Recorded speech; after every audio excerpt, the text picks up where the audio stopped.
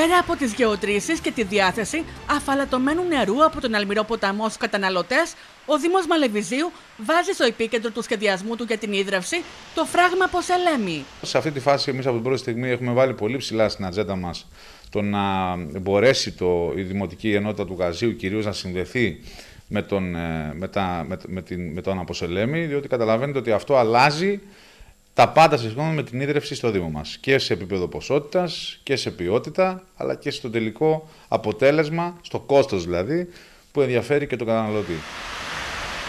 Ο Μενέλαος Μποκέα συναντήθηκε με τον Διευθύνοντα Σύμβουλο του Οργανισμού Ανάπτυξης Κρήτης, προκειμένου να δρομολογηθούν οι διαδικασίες ώστε το γάζι να υδροδοτείται από το φράγμα Ποσελέμι. Αυτό που ξέρουμε είναι όμως ότι εντάξει, σαν ένα έργο που θα ξεπερνάει κατά προσέγγιση τα 5 με 6 εκατομμύρια. Ξεκινάμε ουσιαστικά την επικαιροποίηση της μελέτης που υπήρχε και την προσθήκη διαφόρων νέων δεδομένων έτσι ώστε να έχουμε μια απόλυτα όρημη μελέτη. Πιστεύω ότι μπήκε το νερό στα βλάκη που λέμε και τις επόμενους δύο-τρεις μήνες θα έχουμε αποτελέσματα και θα ψάχνουμε για χρηματοδότηση.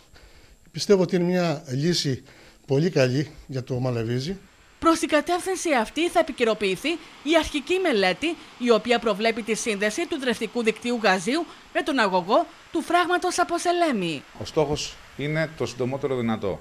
Αν μπορέσουμε μέσα στο 2021 θα είναι ευχής έργων. Αν όμως, επειδή καταλαβαίνετε ότι δεν βρίσκονται την μέρα στην άλλη χρηματοδοτήσεις, σίγουρα μέσα στον επόμενο ένα χρόνο, ενάμιση, να έχουμε βρει, να έχουμε εντάξει το έργο το συγκεκριμένο στη χρηματοδότηση. Είμαστε πολύ χαρούμενοι ε, με αυτή την εξέλιξη διότι θα σημάνει την δυνατότητα σε μια έντονα αναπτυσσόμενη περιοχή όπως είναι ο Δήμος Γαζίου μέχρι και τα όρια του Φόντελε πια, που είναι το δυτικό μέτωπο της ε, πόλης του Ηρακλείου που αναπτύσσεται με ραγδαίους ρυθμούς, να εξασφαλίσουμε τη δυνατότητα ε, αναγκών ίδρυυσης για την επόμενη πεντηκονταετία θα έλεγα εγώ.